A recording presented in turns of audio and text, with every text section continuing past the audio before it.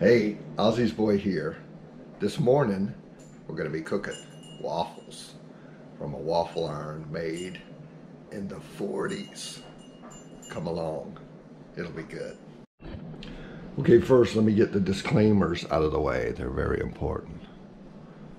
Uh, before you start making bacon and waffles, always wash your hands.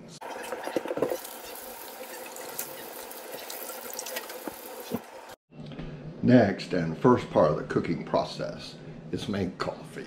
Don't try to do anything without some good strong coffee.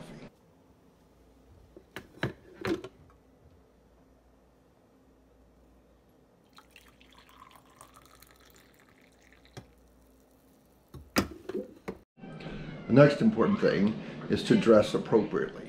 Don't cook bacon in your underwear. That could be a disaster. My chef's smock is currently at the dry cleaners. Actually, I don't have one. So a wrinkled t-shirt will do just fine.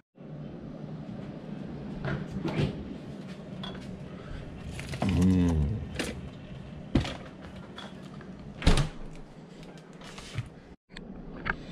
I cut my strips in half. That way they're easier to cook and manageable. And I also cook bacon on a cast iron frying pan. As far as preparation goes, we've already talked about coffee. But you also want to have some butter getting soft. Can't leave butter out all the time, but if you know you're having waffles, take some butter out the night before, let it soften out. Lots of butter is a secret.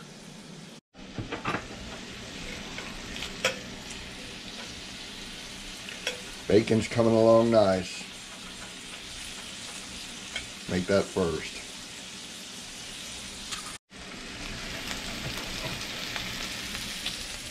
A nice little pile of bacon started.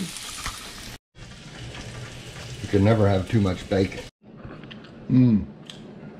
Bacon's ready. Got a sample too as you go. Good cook. That's why they're all so fat. Anyway, the waffle mix, same stuff. Two cups of pancake mix. One third cup vegetable oil. And by the way, if you ain't making a mess, you ain't trying hard. One and a half cups of water. And whip up.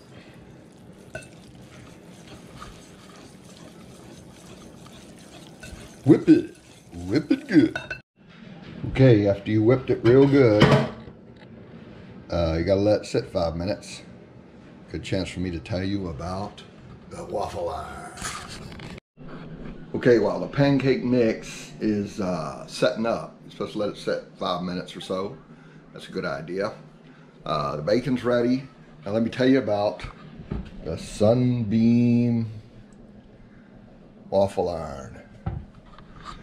I just got this from my mother-in-law who got it for a wedding present in 1954. My wife did some research. The thing was manufactured in 1946. Look at this. Cloth cord.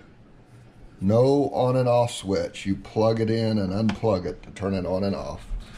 It does have a little light, light, medium, dark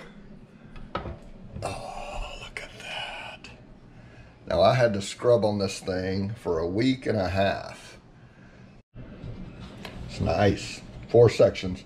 There's more parts to it, but they can't find them to give us to it. So you can make grilled cheeses and instructions.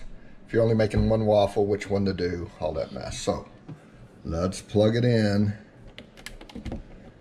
And that turns it on and let it heat up. We're about to make waffles.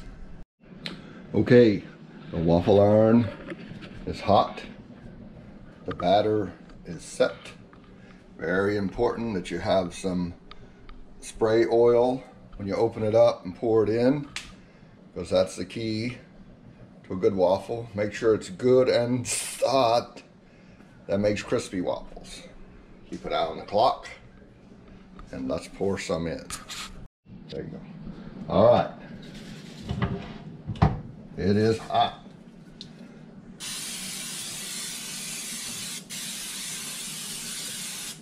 Pour it.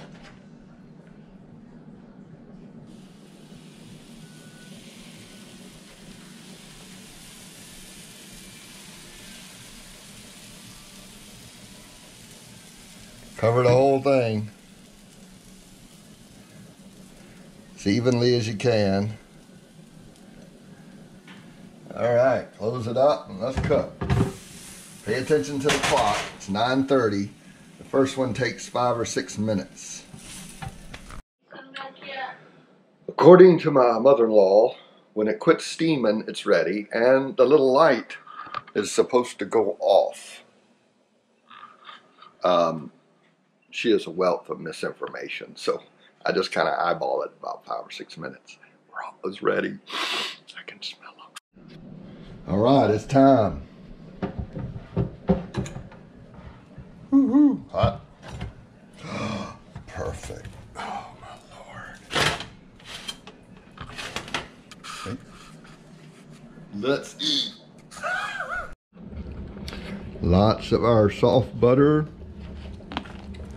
and lots of bacon. Never can have too much bacon. And it's delish. Is it good? Kid approved. Okay, I forgot to mention the scary part earlier. This 1946 Sunbeam waffle maker with its cloth cord gets hot. And it's very scary unplugging it to turn it off.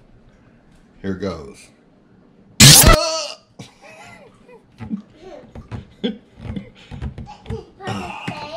It's off. And there's a little three waffle one left. Let's let it go just a little bit longer. Okay, everybody's eating their fill and we got three left. These freeze nicely, let them cool off. We got one kind of well done, one medium, and one light for taste preferences. The waffle iron is unplugged and cooling off. The hardest part of this whole deal is cleaning that sucker up. It's kind of tricky because you can't submerge it and you have to wash it and uh, we won't film that. But remember, no job is complete until the tools are put away. Okay, hope you enjoyed. More bacon to you. Until.